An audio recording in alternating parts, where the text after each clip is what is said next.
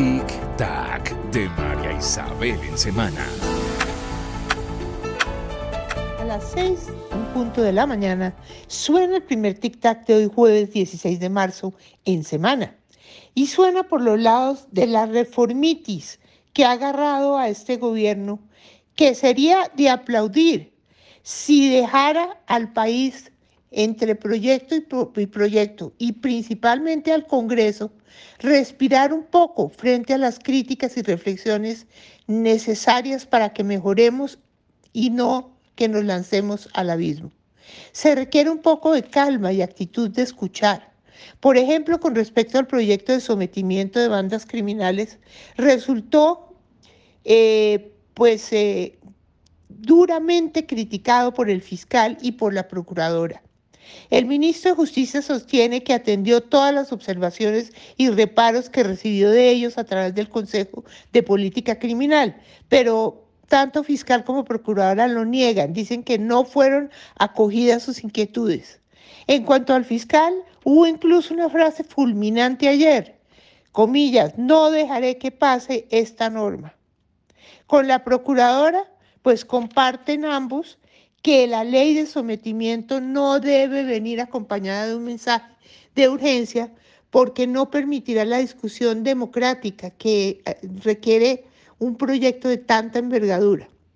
También coinciden en que el proyecto trae planes de indultar criminales a través del principio de oportunidad, porque serán beneficiadas 217 conductas delictuales que hoy contempla el Código Penal. Incluso el fiscal dijo que esto no se puede parecer al proceso de paz de La Habana, que fue una negociación política, porque esto se trata de un sometimiento a la justicia, sí, quizás con beneficios excesivos que son los que están preocupando a los estudiosos, a los observadores y a las IAS. Incluso con la posibilidad de que los que hoy están detenidos de esas bandas criminales recuperen la libertad. Para la procuradora, pues eh, ella insiste en que este es un proyecto que beneficia al victimario y perjudica a las víctimas.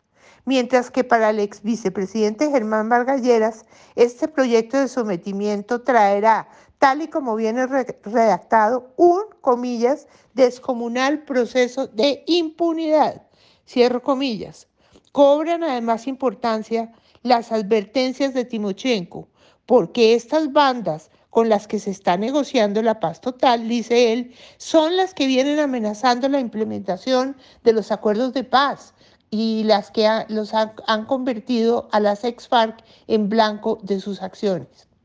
Esta tarde se presenta la reforma al trabajo, ante la cual los sectores productivos, gremios y empresarios echan de menos tiempo para discutir sus alcances en medio de una economía en crisis.